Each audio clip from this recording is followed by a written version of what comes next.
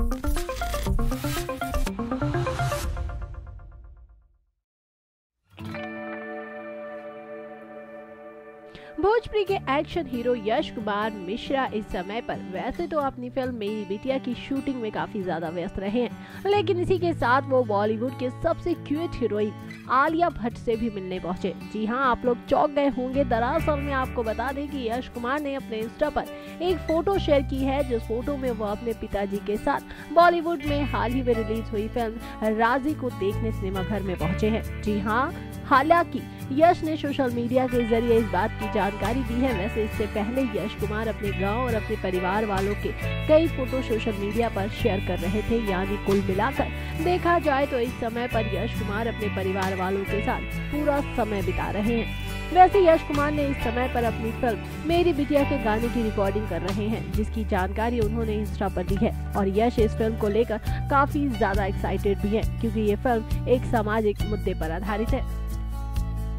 next nine news भोजप्रिया से प्रियंका की report